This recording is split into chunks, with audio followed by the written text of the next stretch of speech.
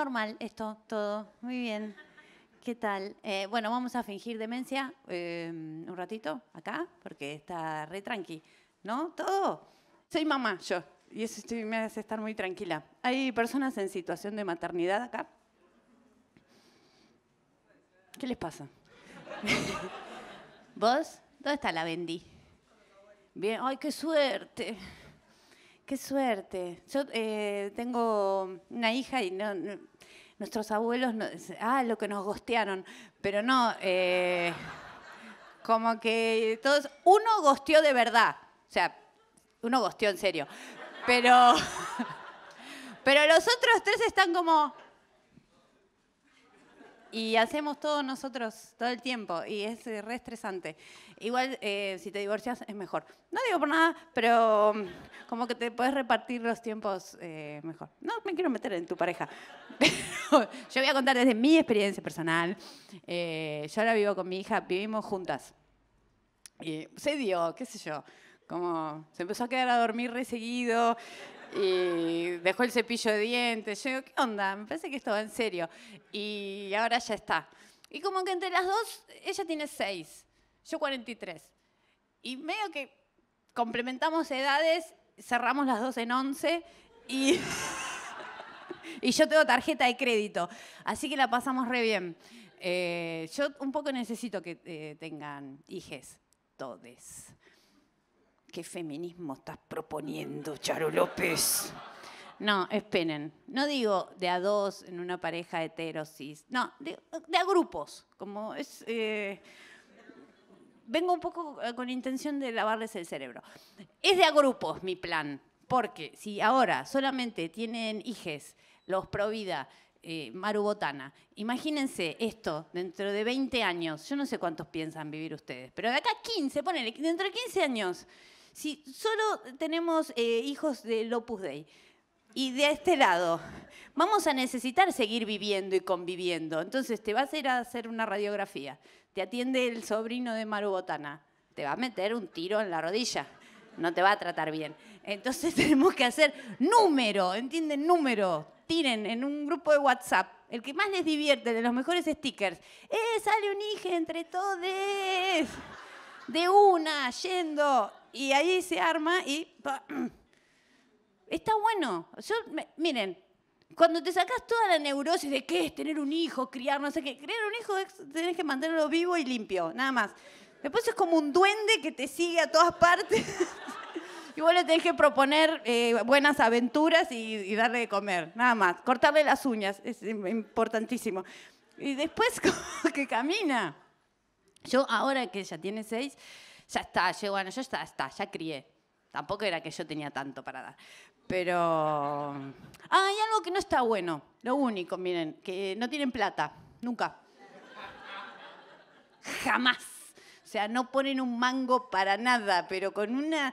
Yo a veces voy a merendar con ella y me dice, quiero otra media luna, mamá. Ah, sí, ¿quién la va a pagar? La concha de madre, como soy una ONG.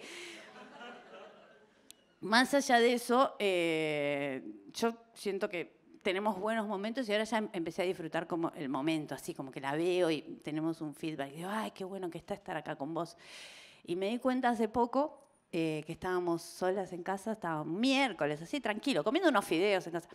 Y ella me dice, mamá, ¿me contás una historia? Y yo le digo, Cuenta la historia de un mago que un día en el bosque la dicha encontró. Y me miró fascinada, así como... y yo más fascinada todavía porque ahí vi como que se abrió un portal y digo, hija, ¿conoces Rata Blanca? No, me dice, no, mamá, ¿qué es Rata Blanca? Le digo, pará. Y claro, como la autoridad máxima en esta casa soy yo, a la mierda los videos. Viene la computadora, vamos a ver videos de Rata Blanca, mi amor. Sí. Once y media de la noche. Mirá, este Jardino. Ay, cómo le gusta tocar la guitarra a Jardino. Yo soy Jardino. Sí, yo soy Valenari. Videos de Rata Blanca en vivo. Y, y bueno, ¿qué más quieren? O sea, yo volví al baño, me encerré, agarré un pañuelo verde del aborto y lo prendí fuego. Y dije, ¿cuánto daño le he hecho a este mundo? No, igual yo ya, ya, realmente, yo ya le di todo lo que le tenía que dar. Eh, yo ya le enseñé lo que era la redistribución del capital. Más o menos, un poco le expliqué lo que era, porque, bueno, como les contaba, yo eh, que voy a trabajar allá, voy vengo, voy vengo, yo empecé a tener un registro como que cuando estás con, en- con una persona europea y vos sos latina, siempre hay como una tensión ahí que te miran como, ah, tiene la piel caliente y me va a robar. Y vos estás como eh, eh, queriendo demostrarle que te evangelizaron bien, que, que te- que hicieron bien el trabajo para que no te disparen. Y no sé, si voy a comprar un queso, poner, agarro el queso y como lo muestro, ¿viste? Como con mucho miedo, ¡ah! y pago tipo acá dos euros también. Este es el, el sueldo de siete maestras en mi país. Amén, amén, amén. Y a medida que fui pasando el tiempo ya me hinché las pelotas y ahora cuando siento como esa tensión de que creen que les voy a robar, estoy como, oh, me va a robar. Y yo, ah, si tú me das la oportunidad. Y hay algo que a mí me gusta mucho de ella cuando me encuentro con, con- sobre todo con personas porteñas. Acá hay eh, situación de porteñez, ¿estamos todos? Sí, ¿Todos- ¿ustedes no? ¿Cómo hicieron para pasar la frontera? Bueno, eh, para mí esto es una apropiación cultural extrema, los porteños haciéndose los latinos, y con esto no quiero decir que eh, los porteños son europeos, no, nada que ver. O sea, el porteño es como un gen inmundo, gris, triste, muy deprimido, y como, yo digo latino, latino que es, ay, Colombia, Cuba, ¿no? Como calor, azúcar, ¡ah! Y los porteños son como, mi madre está muerta. Se me murió el zorzal, la viejita, rabal y cocaína. Y cuando están allá, ay, las más latinas, tipo bajan y una ensaladera en la cabeza con banana y ananá. Ay, sí, sabor, cadera. Mentira. Yo soy la primera que llego allá y me pongo la ensaladera al toque porque es mi manera de defenderme. Y bueno, entonces el año pasado tenía que ir a trabajar y dije, bueno, voy a ir con mi hija, no sé qué, pedí allá si me podían pagar un pasaje más, me fui con ella y, eh, y el, padre de mi hija es cheto. No grabes esta parte porque me la van a sacar. bueno, el padre de mi hija es cheto. Arre. Y entonces él le dijo, decirle a tu mamá que te lleve a Legolandia. Allá hay un lugar que se llama Legolandia, que es, ¿vieron de los legos, los, co- los cositos de plástico? Bueno, que es como un museo de legos, no sé qué. Y yo, bueno, mi hija tiene una condición, es rubia. Y yo le pertenezco, ¿no? Porque el destino estaba escrito. Yo hiciera lo que hiciera, iba a terminar eh, lavando el culo a una rubia. O sea, no había escapatoria. Entonces me dice, mamá, ¿quiere ir a Legolandia? Sí, claro, ama mía, por favor, a donde usted quiera. Bueno, Le- Legolandia queda en, en Alemania, en Berlín. Bueno, fuimos a Legolandia y llegamos y yo ya a la entrada. Ojalá que esté bueno esto. Bueno, entramos ahí, todo me pareció caro, injusto. Estábamos como, bueno, qué lindo. Y había legos, legos, legos por todas partes, legos, legos, legos, legos, muchos legos. Pero era como el sótano de un shopping medio triste. Y se podían tomar como pequeños cursos donde te enseñaban a hacer figuras como más complicadas. Bueno, enseñaban a hacer un robot. Vamos a hacer el robot. Bueno, entramos y había un tipo ahí que se llamaba, no sé, Otto Führer Fritz, nazi, y eh, daba órdenes, ¿no? Yo no hablo inglés ni alemán, pero colores y números nos entendemos todo el mundo.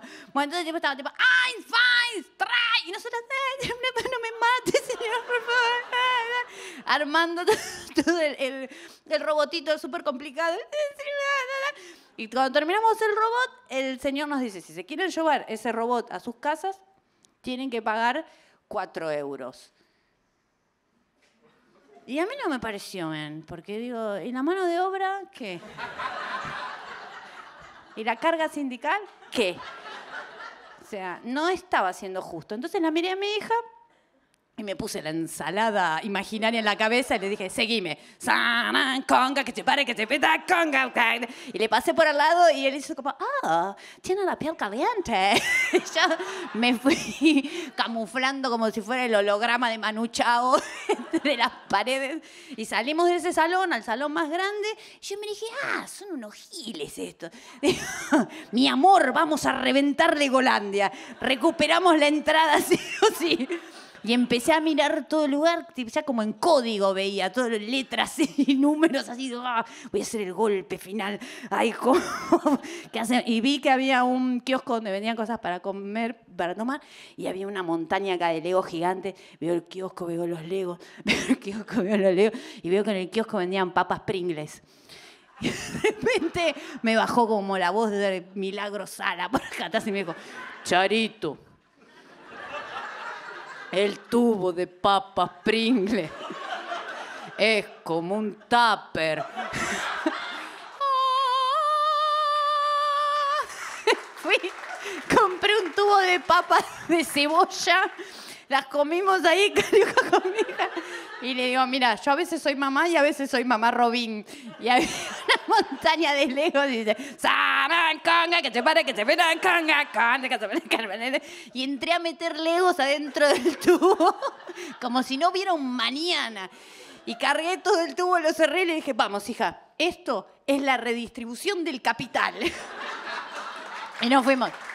Pare, no aplaudan esta mierda. Porque... Después volvimos a Buenos Aires, a nuestra vida normal, y la voy a buscar al jardín y tenía, sale del jardín, tenía como una, su, chaquetita, su camperita dobladita, así acá abajo muy prolija, así me dice, vamos mamá. me robé un pony. No, le digo. Pero bueno, un pincel, una pincelada de lo, que, de lo que va pasando. Tengo 43 años yo. Y a veces digo, bueno, ¿qué, ¿qué, pasa, Charito? ¿Cuándo vas a madurar? ¿Cuándo? Digo, no sé, pues no me llegó el momento como digo, bueno, ahora me empiezo a comprar la ropa en arredo. como que me sigue gustando siempre lo mismo. Y yo siempre tuve medio como un. Siempre viví como en un paralelo. Yo eh, tengo dislexia. ¿Hay gente con dislexia acá? Ubican, por ahí tienen y no saben que tiene un nombre, como que, no sé, ponele, que querés escribir, ¿qué onda? Y pones, ¿qué moda? ubican, es como que vos vas a escribir y como que tirás un puñado de letras y decís, que si ni me van a entender, ¿no? O alguien te pasa un número de teléfono y es como, ¡Ah! prefiero morirme. Bueno, dislexia se llama eso. Y eh, bueno, acá ponele vos, dijiste que tenías. ¿A vos te pasaba? Sí, te pasa. Sí, lo hablamos en el baño. Que te pasaba y era terrible y necesitabas que lo hablemos en vivo. No, bueno, ponle, nosotros dos tenemos, y por ahí alguien más que nos atreve. Bueno, siempre es como mínimo. Digo, en la escuela, en la institución, no, hay tiempo. Imagínense, la maestra tiene, somos todos nosotros. Dice, bueno, y estos dos. Y yo le enseño a estos, y, que se mueran. Pero, porque no hay tiempo, porque nosotros como que entendemos distinto. Y vos querés porque es un, vos decís, ah, no, si yo puedo pertenecer al mundo. Y, como, y todos los años es como, ay, este año lo voy a hacer bien, sí. Yo voy a empezar este año prolijo. Ay, me voy a comprar la carpeta. Y estás como, ¡ah! Y la maestra está tipo, uno, dos, tres, cuatro. Estás como, ¡ah! Arcoíris, lechuga, batata. todo el tiempo todo cruzado. Y eso te va generando como un estrés porque decís, no, no, puedo aprender lo que está pasando, y en un momento medio que soltás, ya decís, ojalá que exista la reencarnación, porque, porque en esta vuelta yo ni, ni doblada, yo pensé que nunca iba a tener trabajo, pero, pero, pero ni dientes pensé que iba a poder tener. Así que la verdad les agradezco muchísimo que hayan venido hoy acá a escucharme y que haya podido hacer de esto un oficio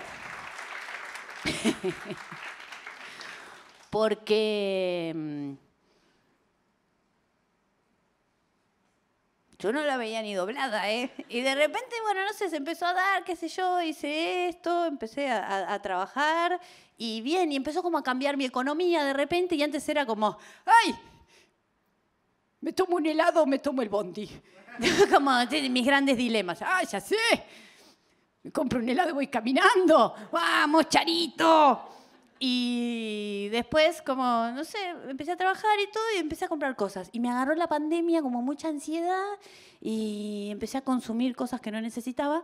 Am, emprendedores de Instagram, ubican, tipo, estoy re flaca, quiero vender cosas, ¿no? A esa gente. Y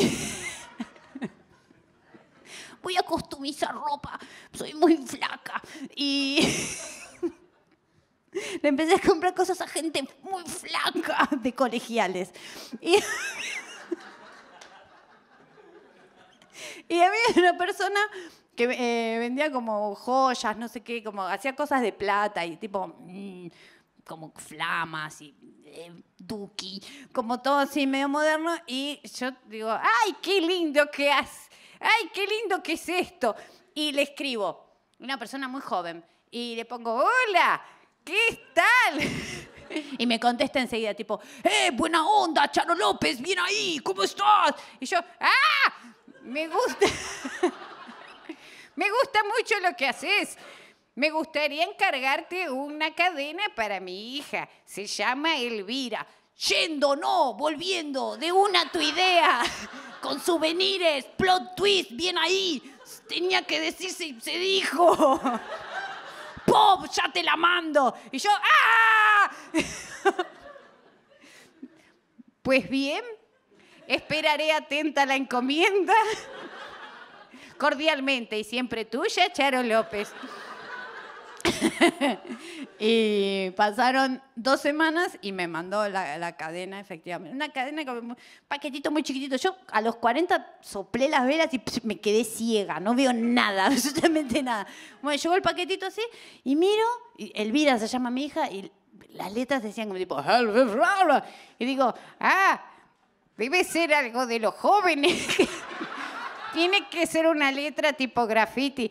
Hashtag, no lo entendería. Entonces me la puse igual. Y va toda contenta. Y me encuentro con mi amiga Bárbara Recanati. Y Bárbara me dice, eh, Charo, boluda, ¿qué te, qué te pasa? Boluda, ¿qué, qué tenés? eh, boluda? Digo, ay, Bárbara, no lo entendería.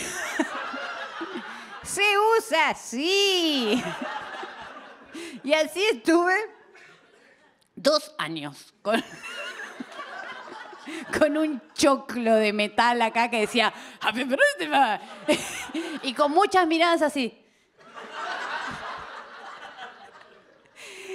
A los dos años me vuelve a escribir esta persona y me dice, ¡Eh, bro! Charo López, ¿cómo estás? Y yo, dos años después, ya había aprendido y le puse, bien, tomando queta en el skate. y me dice, te quiero volver a mandar la cadena porque ahora aprendí a hacer las letras. yo, ¡ay! ¡Saoco, papi! ¡Saoco! Buenas noches, muchas gracias. Gracias por haber venido. Gracias por escucharme. Espero que le hayan pasado bien. Adiós.